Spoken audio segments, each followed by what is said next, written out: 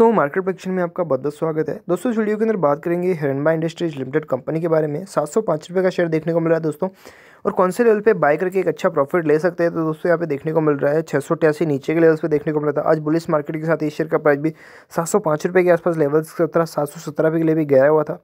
तो कहाँ पे बाय करना चाहिए? कौन से लेवल पे बाय करके अच्छा प्रॉफिट ले सकते हैं? शॉर्ट टर्म और लॉन्ग टर्म तो दोस्तों, ये वीडियो आपके लिए काफ़ी अच्छा आने वाला है। तो यहाँ पे वीडियो को पूरा देखना। दोस्तों, यहाँ पे चलते हैं स्टॉक डिटेल्स के ऊपर, जहाँ पे हम बात करेंगे लेवल्स के लिए। उससे पहले दोस्तों फंडामेंटल जान लेते हैं। यहाँ पे अगर बात करें, यहाँ पे चैनल को सब्सक्राइब चैनल को सब्सक्राइब कीजिए। पसंद आए तो लाइक कीजिएगा। चार्ट पैटर्न के हिसाब से समझेंगे कौन से लेवल पर हमें इसे बाय करना चाहिए। तो यहाँ पे अंत तक ज़रूर देखिएगा। फंडामेंटल को लेकर चले दोस्तों तो हम यहाँ पे जो टारगेट्स काफ़ी सरल बना सकते हैं। तो उससे पहले हम फंडामेंटल को जान लें, वो बहुत ज़रूरी है।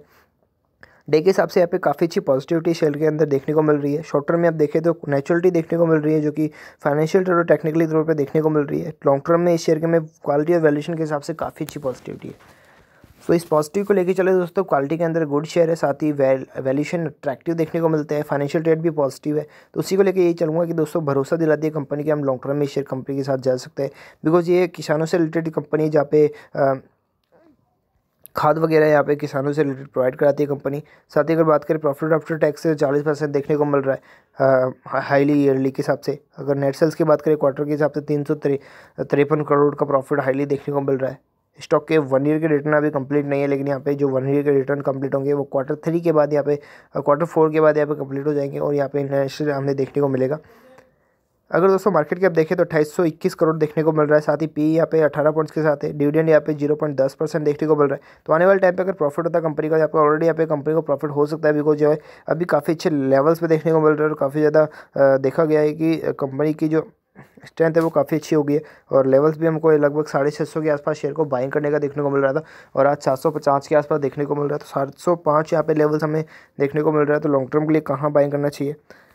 शेयर होल्डर पैटर्न देखें जहाँ पे प्रमोटर का भरोसा है सेवेंटी फोर के साथ देखने को मिल रहा है और पब्लिक के अंदर ट्वेंटी वन का देखने को मिलता है। चार्ट पैन के हिसाब से अगर समझे दोस्तों तो जो देखने को मिल रहा है, वो सात सौ पाँच के लेवल्स के लिए हाई देखने को मिल रहा है और लगभग मैं जैसे कहा कि आपको चार सौ छः सौ पचास के लेवल्स के लिए भी आपको बाइंग देखने को मिला था। तो आपने बाइंग किया तो तो सॉरी दोस्तों, यहाँ पे जो है, अगर आपने बाई किया तो अच्छा होता और आज लेवल देखे तो काफ़ी अच्छे देखने को मिल रहे हैं। और लॉन्ग टर्म में शेयर का काफ़ी अच्छी बुलिश है तो काफ़ी अच्छा प्रॉफिट आपको देखने को मिल सकता है। तो यहाँ पे यही कहूँगा कि कंसोलिडेट करते हुए शेयर का प्राइस जो देखने को मिल रहा है वो छः सौ अस्सी के आसपास था और लेवल्स हम बनाएँगे लगभग छः सौ साठ या छः सौ सत्तर के आसपास, ताकि हम पेशेंस के साथ बाय करें और लॉन्ग टर्म के लिए काफ़ी अच्छा प्रॉफिट लें। और शॉर्ट टर्म के अगर बाय करना चाहते हैं तो लगभग छः सौ नब्बे के आसपास इसे बाय करें और लगभग सात सौ चालीस के आसपास लॉन्ग एक शॉर्ट टर्म भी आप सेल कर सकते हैं। अच्छा प्रॉफिट आपको देखने को मिल जाएगा। तो लाइक और शेयर जो वीडियो को धन्यवाद